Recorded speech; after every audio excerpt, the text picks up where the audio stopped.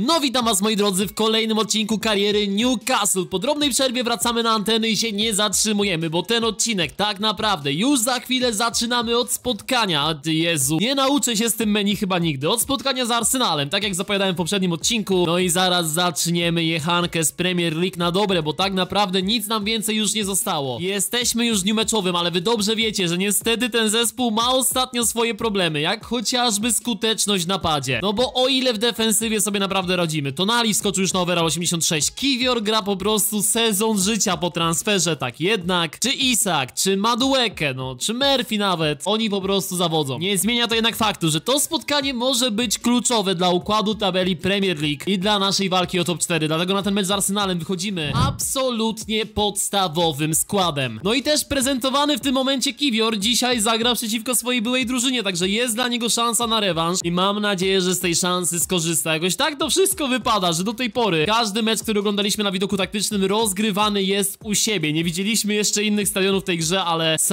James's Park prezentuje się naprawdę olśniewająco. Dajmy zatem dzisiaj tym kibicom kolejne powody do radości. Oni nas wspierają panowie, więc musimy im się odwdzięczyć. Ten sezon na razie układa się różnie, ale dzisiaj No musimy spróbować pójść po pełną pulę Chociaż zadanie no nie wydaje się być najłatwiejsze. Jest, że Linton dobra próba Broni w ogóle neto w bramce Arsenalu. Nie wiem czy Raja ma kontuzję, czy go po prostu w składzie nie ma. Czy go oni go sprzedali, ale jest to dość ciekawa decyzja. Ale jest to opcja dobra dla nas No bo w teorii bramkarz dużo, dużo słabsza Teraz Livramento, no to musi być kartka czerwona dla Calafioriego Nie ma innej opcji Calafiori, bo to chyba był Włoch faulujący właśnie w tym momencie Powinien z boiska wylecieć i tak się dzieje. Arsenal na starcie spotkania łapie czerwoną kartkę i to jest być może moment zwrotny tego spotkania Mimo faktu, że to się dopiero wszystko zaczęło. Livramento, tytaniczna robota, wychodził sam na sam. Ja nawet jestem bardziej z tego zadowolony niż z potencjalnej bramki, bo Arsenal od 15 minuty będzie grał w osłabieniu A Gordon, no ciekawie spróbował broni jednak neto. Zaczynamy naprawdę z wysokiego C ten mecz. No jednak nie obraziłbym się, gdybyśmy po tym stałym fragmencie gry strzelili gola Będzie jeszcze jeden rzut rożny. Ten rzut rożny zagraliśmy na krótko i jest Kiwior Ależ to by była historia, gdyby Polak zdobył bramkę przeciwko swojej byłej drużynie. Że Linton, dobre dogranie w pole karne Jest wielu naszych piłkarzy właśnie w 16 rywala Tylko nie wiem dlaczego my stąd wychodzimy. Jest jeszcze Isak, ale no niestety nie ma z tego gola. Jestem ciekaw, czy Arsenal weźmie i się zasugeruje swoim własnym zespołem rzeczywistości. I czy druga połowa tego meczu na przykład będzie wyglądała jak ta z City? Pomimo, że jestem fanem Arsenalu, to fakt bronienia się trzema liniami na własnej jedenastce, no wyglądał co najmniej komicznie. Chociaż w sumie szkoda, że tych trzech punktów na Etihad nie udało się wyciągnąć nawet pomimo całego stylu, ale mniejsza o to, bo my w tym odcinku nie zamierzamy sympatyzować z kanonierami, a to oni zaczynają pomału dochodzić do głosu. Uwaga, Odegaard! No właśnie, właśnie, właśnie, właśnie. A, no grają w dziesiątkę, ale tak czy siak są w stanie kreować, tak czy siak są groźni. I tutaj mamy tego efekty. No w obronie zagraliśmy fatalnie. Botman za wysoko wyskoczył i tracimy gola mimo faktu gry w przewadze. Tak się nie powinno to wszystko ułożyć. Podjarałem się tą czerwoną kartką, a wychodzi na to, że no za dużo to ona na razie przynajmniej nie dała. Ale może teraz Gordon doskonale. W polu karnym jest Isak, tylko czy zobaczymy dogranie? Anglik niestety akcję zwolnił, a to jest ostatni czas na to, żeby w tej pierwszej połowie jeszcze rywalom zagrozić. Gordon, dobre uderzenie, ale Neto niestety niewzruszony będzie rożny. Nie, Zinchenko przejmie piłkę i będzie koniec pierwszej części spotkania, po której naprawdę mam prawo być sfrustrowanym, bo nie tak powinna wyglądać gra z jednym zawodnikiem przewagi, dlatego od razu reagujemy na sytuację boiskową. Wejdzie Willock, żeby zagrać trochę bardziej ofensywnie w środku, wejdzie również Madueke, jako że tam jest sam Zinchenko, nie ma już Calafioriego jako tego półlewego obrońcy, no i po prostu musimy to wykorzystać. Bo czasu już nie cofniemy, ta pierwsza połowa była dramatyczna w naszym wykonaniu, patrząc na okoliczności. On nawet nie byliśmy w stanie za bardzo drużynie rywala grającej w dziesiątce zagrozić, chociażby raz jakoś tak poważniej. Ej, no ja wiem, że... Czemu Arsenal ma Salaha w składzie? Co tutaj komputer zrobił? To są te realistyczne transfery, niby Odegaard broni Poł. Jakim prawem nowym kanonierem został Egipcjanin? No nie, nie rozumiem tego. Ej, ej, bo my zaraz stracimy drugą bramkę, co jest? Mohamed Salah 2 do 0, grając 11 na 10. Przydałoby się coś więcej w tym meczu zrobić. Livramento. Pokaż chłopie, dlaczego ty masz być naszym ofensywnym, bocznym obrońcą. Madueke. Jest dobre dogranie. Willock. Dośrodkowanie tylko na kogo? Cholera jasna. Zaczynam poważnie rozważać zmianę taktyczną na dwóch napastników, bo osamotniony Isak nie wygląda w ogóle, ale może o tym zaraz. Willock broni neto. Jeszcze próbujemy doskoczyć. Wracając do mojej myśli, osamotniony Isak niestety nie wygląda dobrze, a możemy przecież skorzystać z faktu, że Joe Willock jest w nawet nie najgorszej formie i chyba nawet to zrobimy jeszcze w tym meczu. Wiecie co? No bo ten Isak dalej, no nie zadowala mnie, zwłaszcza jako ten, tak jak mówię, osamotniony napastnik, a do tego jeszcze za Gordona, który jest podmęczony, wejdzie Barnes i za Tonaliego Zakaria. Nie wiem, czy to cokolwiek pomoże, ale musimy podkręcić tempo. Oni grają praktycznie całe spotkanie. Dziesięciu, cholera jasna, im nie powinno wystarczyć w tym momencie sił na jakiekolwiek zrywy do ofensywy. Musimy po prostu ich dojechać, żeby zdobyć tutaj chociaż jeden punkt. No i może ten rzut rożny zacznie nam to wszystko. No tak. Niestety nie. Maduekę, proszę. Daj pierwsze celne dośrodkowanie. O, jest dobra wrzutka potencjalnie, tylko gdyby Sher, dlaczego on nie decydował się na strzał? Nie wiem, no najgłupsze decyzje, jakie możemy na boisku podejmujemy. W każdej praktycznie sytuacji. Musimy czym prędzej zmodernizować taktykę, bo niestety tak może wyglądać każdy mecz z mocniejszą ekipą, że będziemy nią po prostu bili głową w mur no zobaczcie, co mają na celu takie dośrodkowania? Odskakując troszeczkę od ligi, przechodząc do nagród indywidualnych, dostajemy informację, że Haaland jest zdobywcą Złotej Piłki 2024. Swoją drogą, drogi, drodzy widzowie, ostatnio pojawiła się informacja, że w rzeczywistym świecie to Vinicius Junior ma zgarnąć Złotą Piłkę. Tak napisała Marka, dajcie znać w komentarzach, co wy o tym sądzicie. A ja tylko mogę wam obiecać, że postaram się, abyście dobrze myśleli o tym naszym najbliższym meczu, gdzie zagramy z ekipą Nottingham Forest. Damy jeszcze jedną szansę temu ustawieniu z Kiwiorem, z Tonalim, z Gimaraeszem. Chociaż chyba właśnie w tym meczu akurat wolałbym zobaczyć Zakarię niż Gimaraesza, bo Szwajcar naprawdę ostatnio imponował nam formą, więc dlaczego by w sumie tego nie zrobić? Symulujemy ten mecz na szybko i pytanie, czy możemy dopisać kolejne trzy punkty. Jest tragicznie, jest dramatycznie, jest słabo. Zmieniamy taktykę, bo niestety to ustawienie totalnie nie działa. Szukamy czegoś na dwójkę napastników. No i powiem wam tak, tutaj nie będzie grał Tonali. Tonali może być nieco pokrzywdzony tą zmianą taktyki, bo dla niego nie będzie niestety za bardzo miejsca. Więc to też trzeba będzie wszystko rozważyć. Tu bym wolał mieć fałszywą dziewiątkę, w tym miejscu właśnie wysuniętego napastnika, a z kolei w miejscu Joelintona rozgrywającego. Kurde, zobaczymy jak się to będzie sprawdzało. Do pierwszej jedenastki na stałe wróci Wilson, tak jak mówiłem, no niestety wyleci z niej teraz nasz włoski pomocnik, jakim jest właśnie Sandro Tonali. No jestem ciekaw, czy to się sprawdzi. Za Murphy'ego możemy dać też Maduekę, bo on tutaj powinien się odnaleźć w miarę, w miarę nie najgorzej. I zamiast Żelintona zobaczyłbym tutaj Joe Willocka. Odpowiedź na pytanie, czy ta taktyka ma sens, dostaniemy prawdopodobnie już w najbliższym spotkaniu. Wilson, ja wiem, że tobie spadł overall, ale proszę, nie zawiedź nas. Jestem ciekaw, jak to duo w napadzie sobie poradzi, kiedy oni nie będą musieli ry rywalizować wreszcie o miejsce w składzie, tylko będą mogli grać koło siebie. Wilson, czerwona kartka, dałem mu szansę, gość się wykartkował w 36 minucie. Ale pozytyw jest taki, że Isak jeszcze jak Wilson był na boisku, to zdobył przynajmniej bramkę, cholera jasna. Ale to jest niesamowite, że naprawdę daje szansę napastnikowi, który gdzieś tam grał nie najgorzej, jak wchodził z ławki, jak grał sporadycznie. I chłop w meczu, gdzie grał od pierwszej minuty, dostaje czerwoną kartkę w 36 minucie. Ja pierdzielę. No cóż, powiedzieć, że Wilson nie wykorzystał szansy, to tak jakby jakby nie powiedzieć nic. Pytanie, czy my mamy kim go zastąpić, bo chyba nie. Mam pewien szalony pomysł, tylko nie wiem, czy to się może sprawdzić, bo Maduekę tutaj niekoniecznie może grać, ale jako, że my naprawdę nie mamy za dużo opcji, to to jest chyba jedyne rozwiązanie. Damy w razie W Parkinsona na rezerwę. Swoją drogą, doskonała forma Kiwiora zdaje się potwierdzać również w jego upgrade'zie overalla. Już o jeden punkt do góry poszedł, tylko oby forma Polaka przełożyła się na to spotkanie. Gramy z Crystal Palace na wyjeździe. Te mecze nigdy nie nie są łatwe. Dodatkowo gramy z fałszywym napastnikiem, jakim jest Madueke i remisujemy 1 do 1.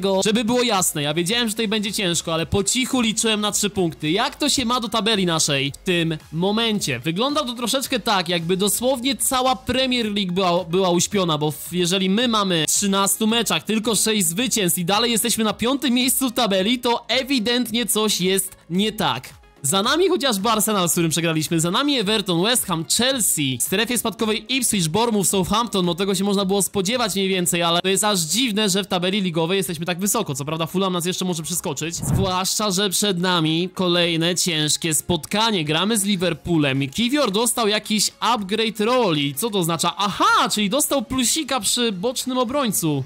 Ob obrońcy. My tą rolę mu w takim razie stosujemy. Ma nawet teraz już dwa plusiki na tej pozycji. Szczerze nie ogarniam jeszcze jak to działa, ale dobrze, fajnie, że ma. No i teraz pytanie, myślę, że słuszne. Jak do tego meczu z Liverpoolem podejść? A, bo cały czas tutaj kombinujemy z tą taktyką, bo poprzednia no ewidentnie się nie sprawdzała. Ta na razie też jakoś wybitnie nie wygląda. Jako, że Liverpool gra formacją 4-3-3, gra pressingiem, to może fajnie będzie zawężyć nasze boisko gry, żebyśmy mieli więcej opcji do rozklepywania tego pressingu i zagrać z konterki. Wiadomo, to jest ustawienie tylko i wyłącznie na to najbliższe spotkanie, ale musimy jakoś rozpracować tutaj zespół rywali. Na tym niestety ucierpi Gordon, na tym niestety ucierpi również Madueke, chociaż wolałbym chyba mieć Tonaliego na zabezpieczeniu w środku pola nieco wyżej, mimo tego, że to nie jest jego idealna pozycja, a tutaj zamiast Żelintona mieć Zakarię, czyli taką typową szóstkę. Liczę na to, że takie zestawienie akurat na ten mecz będzie odpowiednie po prostu pod naszego rywala w tym meczu. Będąc zespołem pokroju Newcastle, my musimy taktykę dostosowywać pod te spotkania z największymi. W składzie przeciwników pokazany przed chwilą Trippier, który odchodził z naszego zespołu, zresztą składy zaraz sobie zobaczymy. Ten mecz to będzie misja taktyczna. Trzeba pokonać Arne Slota i jego pomysł na to spotkanie, bo jeżeli chodzi o jakość piłkarską, nie oszukujmy się, Liverpool jest co najmniej półtora poziomu wyżej. No jestem ciekaw, czy ja tutaj miałem rację, wybierając takie, a nie inne zestawienie. Zatem zaczynamy. Znowu gramy u siebie, jakby to jest jakaś klątwa, że my z tymi największymi gramy tylko i wyłącznie na własnym boisku, ale może to i dobrze, bo jest troszkę więcej szans na to, że jakiekolwiek punkty w tym starciu zdobędziemy. To, co chciałbym zobaczyć, zwłaszcza w pierwszej połowie, jako że gramy u siebie, to żeby dzięki tej formacji gra była zepchnięta mocno na połowę Liverpoolu. Zobaczmy, jest Livramento, jest dobry pomysł z tym dograniem do Isaka, tylko niestety nie doszedł, ale na razie podoba mi się to, jak ten zespół się ustawia, naprawdę. Zobaczcie, ten środek pola jest tak zagęszczony, że oni zazwyczaj nie mają w ogóle opcji do podania. Tak jak teraz, dwójka naszych zawodników jeszcze przed linią defensywną, ale tak czy siak Hakpo znalazł miejsce na uderzenie z dystansu, a wiemy, że no przynajmniej w reprezentacji Holandii tego uderzenia za szesnastki są zabójcze wielokrotnie. Na to trzeba uważać, musimy być mocniej reaktywni w defensywie. A, ja już wiem dlaczego Liverpool sprzedał Salaha, no bo przecież teraz mają Kiezę na, pozy na tą pozycję, który jest młodszy i może Arne Slot wraz ze swoimi menadżerami doszedł do wniosku, że warto postawić na Włocha, odpalając nieco legendę klubu. I mamy szansę na jeszcze jedną kontrę, jednak nie, bo sędzia idealnie w 45 minucie ten mecz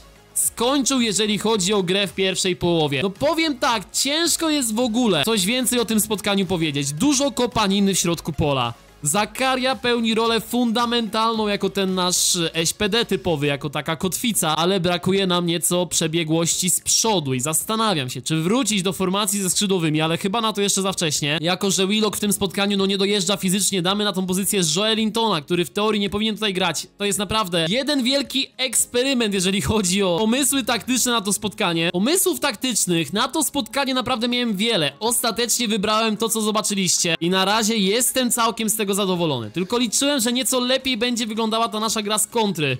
No bo mamy tylu pomocników wspierających, dwóch napastników, no i my powinniśmy być w stanie te kontry wyprowadzać, a najlepsze co potrafimy na razie zrobić to oddawać zablokowane strzały z 30 metra. Dajesz Kuba, nie możesz dać się tutaj ograć. Doskonale Kiwior, ale jeszcze bo troszeczkę zabrakło zdecydowania w tej interwencji. Broni Pope. Będzie corner dla Liverpoolu, a to jest też moment, kiedy ja będę chciał wprowadzić zmiany. A, zobaczcie co odkryłem. Przez błąd w trybie kariery nie można zmienić formacji. Olera tak naprawdę wie czemu. Nawet jakbym chciał zmienić na dwójkę napastników ze skrzydłowymi, to nie da się tego zrobić. Także jesteśmy skazani grać formacją wąską do samego końca meczu, mając naprawdę niesamowity potencjał na skrzydłach. Super. No ale no, no trudno, no. To gramy w takim razie. Oj, no i poszliśmy nieco ofensywnie i zaraz za to możemy być skarceni. 15 minut do końca meczu.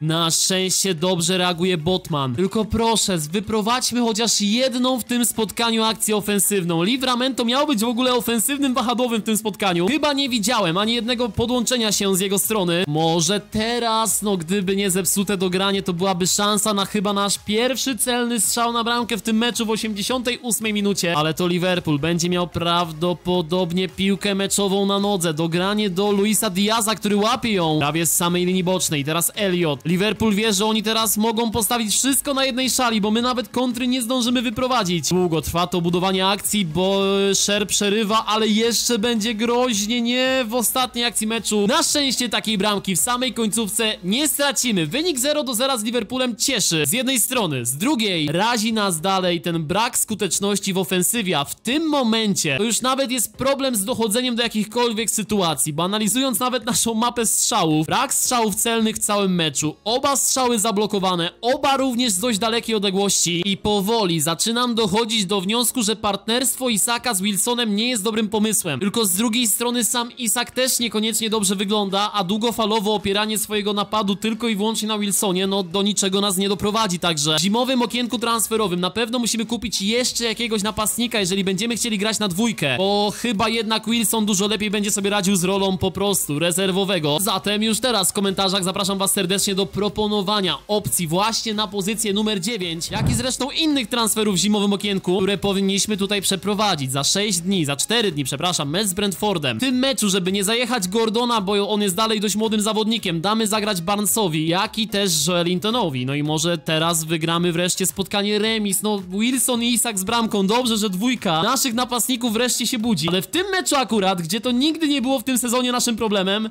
Zawiodła nas zdecydowanie defensywa. Dlatego będziemy dalej szukali tutaj jak najbardziej optymalnego rozwiązania. Damy Zakarię. To jest najbardziej randomowa pewnie dla was opcja, jaką możemy wybrać, bo w teorii na tą pozycję mamy dwóch dużo lepszych zawodników. No niestety, kadrę budowaliśmy pod inną formację i teraz to będzie wychodziło, że ją zmieniliśmy w trakcie sezonu, bo brakuje nam rezerwowych napastników, a SPD-ków mamy w brud. Ale no niestety do tego nas zmusił tutaj troszeczkę sezon. A Zakaria jako taki jeden defensywny pomocnik w mojej opinii poradzi sobie zarówno lepiej od Bruno Gimaraesza, jak i od Tonaliego, chociaż może overall na to nie wskazuje. Tak, specyfikacja tego piłkarza powinna dać nam właśnie te korzyści. Zgrania nim jako samotnej szóstki w środku pola. Nie wiem co się dzieje, znowu remis 2 do 2 Isak i Wilson z bramkami, więc no mamy znowu ten firepower z przodu Tylko też mamy wietnamską wioskę w defensywie, no niestety. Ale mimo wszystko, mimo faktu, że nie możemy tego sezonu nazwać pasmem sukcesów Utrzymujemy się w czubie tabeli, jesteśmy na szóstym miejscu Chociaż blisko nas już bardzo Everton, tak jednak nawet do top 4 tracimy zaledwie dwa punkty Chyba, że United wygra, to będzie to punktów 5 Na spotkanie z Ipswich Town wychodzimy bardzo ofensywnym zestawieniem Bo będzie grał w środku pola Tonali, który ma być registą, a nie defensywnym pomocnikiem z krwi i kości. Zatem de facto wychodzimy tylko z czterema defensywnymi zawodnikami na to spotkanie i okej, okay, może tracimy dużo bramek, ale jednocześnie strzelamy cztery. Skoro nasza defensywa tak czy siak nie funkcjonuje, to może właśnie takie ofensywne podejście będzie dla nas drogą, żeby zawsze, mimo dużej ilości straconych bramek, strzelić więcej od rywala, po prostu. Taką filozofię chyba musimy tutaj przyjąć, żeby wreszcie w Newcastle było po prostu dobrze. I choć wiem, że spotkanie z Aston Villą to nie jest miejsce na takie testy, to spróbujemy tą tendencję podtrzymać. Znowu Tonali w pierwszym składzie i ty, czy tym razem znowu strzelimy więcej bramek i jednocześnie wygramy to spotkanie. Zobaczcie, nawet czyste konto, więc ten Tonali może nie jest taki straszny i może nie ma co marnować jego potencjału na ławce. Tylko w takim wypadku z kolei nie ma miejsca dla naszego kapitana, nie wiem, tych problemów jest naprawdę sporo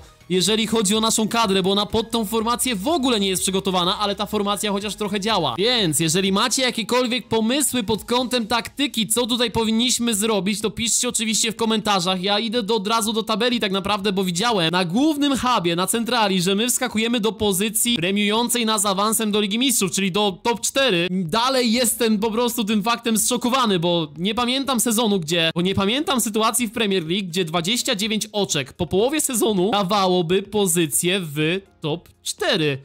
Zobaczcie, że ta liga jest strasznie w tym roku wyrównana i na dobrą sprawę, przegrywając jedno, dwa spotkania, możemy wylądować nawet i na 11 miejscu. To to jest nieprawdopodobne. Dodatkowo, ten rok kalendarzowy będziemy kończyli spotkaniem z Manchesterem United, które rozgrywane będzie w przeddzień sylwestrowej nocy. Zobaczmy, jak to wszystko się potoczy. Mimo, że klasa rywala dużo wyższa, bo to jest zespół z piątego miejsca w tabeli, to United w tej karierze gra dużo lepiej lepiej niż w rzeczywistości, to ja dalej będę szedł tą ofensywną drogą. Niczym Michał Probierz w reprezentacji próbujemy po prostu postawić na ofensywę. Jak to wyjdzie? No oby lepiej niż wspomnianej reprezentacji. A i wywaliło mnie z gierki. No obym tylko save'a nie stracił, proszę. Jakaś dziwna sytuacja się wydarzyła. Ekran wczytywania się przerwał, proszę, ja nie chcę stracić save'a. Dobra, mamy to, jesteśmy w tym samym miejscu, co dosłownie przed chwilą, także czas na drugie podejście do tego spotkania. Czy tym razem ten mecz nam się załaduje? Mamy to, jesteśmy już na Old Trafford. Nie wiem, co to był za błąd, ale pierwszy raz coś takiego mi się wydarzyło. Skupmy się jednak już na meczu. Mamy te stroje wyjazdowe, które wyglądają dość ciekawie i zaczynamy. Mecz na Old Trafford, koło naszego trenera, koło Breta Bretowskiego stał przed chwilką Antony, także Goat też jest obecny na boisku. No i teraz to właśnie Antony będzie próbował tutaj napędzić ten zespół United, który w tym roku naprawdę jest groźny. Niech was nie zmyli. Mem manchesterski, który powstał z tego klubu w ostatnich latach, bo to jest ekipa w tej karierze prowadzona naprawdę rozsądnie. Widzę, że tutaj już skrzydłem rozpędza się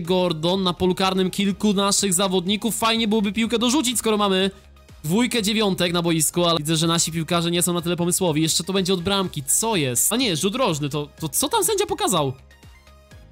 Dobra wrzutka Shera, ale odbija Indir, czyli chyba nie ma w ogóle Onany w składzie United, albo przynajmniej nie gra w pierwszej jedenastce. Gordon jest wreszcie ta wrzutka, Harry Maguire, no akurat pod tym kątem, pod kątem pojedynków powietrznych nie powinien odstawać za bardzo. Pół godziny gry za nami, tych sytuacji na razie za dużo nie było. Można powiedzieć, że takich klarownych to jest jeden do jednego. Uwaga, jak tu nie było spalonego, to za moment może być naprawdę groźnie. Udogi to jest przeciągnięte dośrodkowanie, ależ to jest Partidazo. Jeszcze ani jednego zagrożenia z jakiejkolwiek ze stron. Tysiąc niedokładnych podań. To wygląda jak B-klasa, nie jak Premier League, ale Gordon może teraz zmieni troszeczkę podejście do tego spotkania. No nie, gramy do tyłu. Co, co tu się dzieje? No i tym oto sposobem, z jednym strzałem na naszą bramkę, schodzimy na przerwę. W tym meczu nie dzieje się totalnie nic, ale biorąc pod uwagę, że my gramy z United na wyjeździe, to naprawdę nie jest zły układ sił boiskowych. Prowadzimy Joelintona, bo troszeczkę jest tych górnych piłek, jest trochę tej walki fizycznej i on się może w środku pola właśnie jako taki tytanowy pomocnik odnaleźć i po tej jednej drobnej korekcie taktycznej wracamy na boisko. Tak sobie teraz myślę, no bo za chwileczkę już nam się otworzy okienko transferowe, zimowe okienko transferowe. Co zrobić z niektórymi zawodnikami? Co zrobić na przykład z Bruno Gimaraeszem, który oczywiście no jest dalej naszym kapitanem na papierze. Tak jednak, jeżeli w dalszym ciągu Tonali będzie prezentował doskonałą formę, no to dla niego po prostu na boisku miejsca nie będzie. Więc to na pewno musimy rozważyć, ale czekajcie, bo teraz mamy rzut rożny. Ja głęboko liczę na to, że będziemy się mogli cieszyć po tym stałym fragmencie gry, ale chyba no, nadzieja jest jednak matką głupich. Ma duekę, to jest ciekawy pomysł, no niewiele zabrakło, ale Isak dalej bez bramki w tym meczu. Szuka dalej swojej formy Szwed, ma przebłyski w tym sezonie ale nie jest takim killerem, jakim myślałem, że będzie. No i tu właśnie mamy kolejne pytanie na to zbliżające się okienko. Jak zestawić napad na resztę sezonu? Może jakieś wypożyczenie na przykład? Takie ratunkowe na tą pozycję? Uwaga, Garnacho za łatwo, ale broni Pope. No i mamy koniec tego meczu. Jedno jest pewne, jesteśmy niewątpliwie ekipą, która jak żadna inna potrafi zabić spotkanie z mocniejszym rywalem. Kolejny dobry przeciwnik po Manchesterze City i właśnie Liverpoolu teraz dochodzi do naszej listy spotkań zremisowanych 0 do 0. Po takim wynikiem kończy się ten mecz na Old Trafford, wracamy z trudnego terenu z jednym punktem, a co najważniejsze, kończymy ten rok kalendarzowy w top 4. W tym momencie znajdujemy się już w zimowym okienku transferowym, więc według mnie to jest najlepszy moment na to, żeby zrobić przegląd wojsk, zobaczyć, nawet na samych suchych liczbach, kto tutaj sprawuje się dobrze, kto niekoniecznie i nad jakimi zmianami trzeba się pochylić i zastanowić. Ostoją naszej drużyny w tym sezonie na pewno jest defensywa, która w większości spotkań poza może końcówką pierwszej połowy sezonu, kiedy to zmieniliśmy ustawienie z Tonalim w środku pola na jedynym defensywnym pomocniku, naprawdę wyglądała bardzo dobrze i to tak samo widać w liczbach. Wiodącą postacią w ofensywie dalej jest Antony Gordon, chociaż Aleksander Isak też się nieco zaczyna już pomału ogarniać, a sam Callum Wilson, mimo lepszych i gorszych momentów naprawdę, jak na poziom tego zawodnika, myślę, że dużo więcej od niego wymagać po prostu nie możemy, bo spełnia swoje funkcje. Natomiast uważam dalej, że potrzebny jest nam przede wszystkim wszystkim napastnik, jak i tak patrząc na całokształt naszej drużyny, jak i na naszą taktykę, nam jest potrzebny kreator w środku pola, czyli taka typowa dziesiątka, taki rozgrywający. I to się będzie wiązało też z tym, że musimy naprawdę na poważnie zastanowić się nad przyszłością niektórych zawodników, taki Fran Beltran na przykład, nie wiem, czy na ten moment nie najlepiej, żeby udał się na wypożyczenie, wiem, że to jest nasz świeży transfer, ale przez zmiany taktyczne, no dla niego w ogóle w tym sezonie miejsca prawdopodobnie na razie, nie mówię, że na zawsze, nie będzie. Zakaria, jak i Tonali też wyglądają doskonale, tylko problem jest taki, że naprawdę ten Bruno Gimaraes jakoś szczególnie nie zachwyca i ja wiem, że to jest nasz kapitan, ale też wiem, że za niego możemy potencjalnie zgarnąć dobre pieniądze. Ta pozycja jest naprawdę doskonale obsadzona, więc ja nie będę bał się zaryzykować z wystawieniem go na listę transferową, a może dostaniemy za niego jakąś dobrą ofertę, kto wie. No i też trzeba się zastanowić nad pozycją środkowych pomocników, bo kiedy tutaj wleci jakiś typowy rozgrywający, no to zarówno Willock, jak i Linton, no raczej będą mieli dużo mniej placu na boisku, dużo mniej czasu gry na boisku i pytanie, czy trzymanie dwóch takich w miarę dobrych zawodników ma po prostu sens. Jedyne czego jesteśmy pewni po tej pierwszej połowie sezonu to nasze skrzydła i defensywa, cała reszta wymaga w tym momencie przemodelowania. Nie chciałbym robić z tego Newcastle, polskiej kolonii, ale z drugiej strony, no jest polski menadżer, a Sebastian Szymański jako SPO wygląda wręcz jak opcja skrojona pod nas. Dogadywałby się z Kiwiorem w szatni, a tak poza tym to jest doskonały ofensywny pomocnik. A z kolei jeżeli szukamy potencjalnych, kreatywnych napastników, to doskonałą opcją zdaje się być Elie Wahi, tylko on jeżeli już to na razie podejrzewam tylko na opcję wypożyczenia, bo niedawno przeszedł do Marsylii, ale dalej. No dla mnie to by była opcja po prostu perfekcyjna, wtedy można grać. Wahim jako zbiegającym napastnikiem do boku, centralnym napastnikiem w staci Izaka, no wszystko by się kleiło, za nimi jeszcze byłby Szymański, ale to jest tylko i wyłącznie moja wizja na to, jak ten zespół może wyglądać. Pamiętajcie, żeby dać swoje propozycje w komentarzach, a ja za dzisiaj wam dziękuję o 20, widzimy się na streamie, zostawcie łapeczkę w górę, jakieś subskrypcje i do następnego, cześć!